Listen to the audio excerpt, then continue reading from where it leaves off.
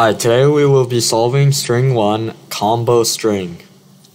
The problem reads, given two strings A and B, return a string of the form short long short with the shorter string on the outside and the longer string on the inside. The strings will not be the same length, but they may be empty.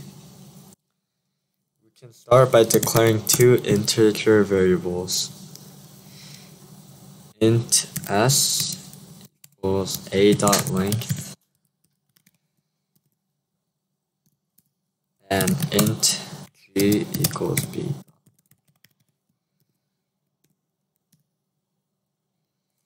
Then if s is greater than g, then we return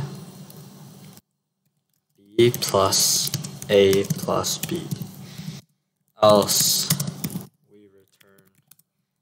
a plus b plus a. And it should work.